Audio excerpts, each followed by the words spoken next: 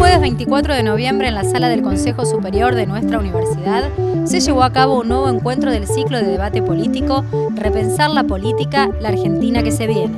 En esta oportunidad con la presencia de Federico Bernal, quien expuso sobre el tarifazo y la energía como variable de ajuste. Esta actividad fue organizada por el Centro de Estudios Políticos Arturo Jaureche del Centro de Política y Territorio. Bueno, un poco en la charla, que lo que conversamos inclusive después que se dieron en el debate con los, con los alumnos es eh, la energía debe ser pensada en función de nuestro interés, del interés de la ciudadanía, es decir, contemplada no como una mercancía, como un commodity, sino como un bien estratégico, eh, universal, es decir, que debe... Eh, crecer su accesibilidad para un mayor número de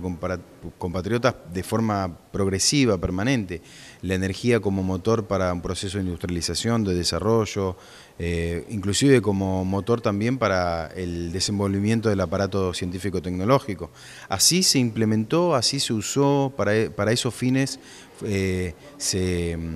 se puso en marcha el Plan Energético Nacional y por ende la energía en los últimos 12 años. Ahora, lo que está pasando del 10 de diciembre de 2015 a esta parte es todo lo contrario, es la energía como una mercancía, no hay un Ministerio de Energía, hay una Cámara de Empresas con poder ministerial, ahí están las petroleras y están las empresas de distribución y transporte y generación de energía eléctrica, eh, y eso explica el tarifazo, explica una energía cada vez más cara, cada vez más inaccesible para la población, eh, provincias que en invierno último, sobre todo las zonas mm, con familias más vulnerables, tuvieron que acceder a la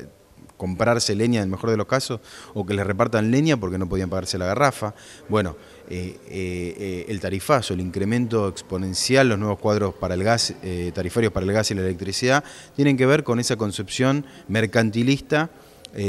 privatista de la energía.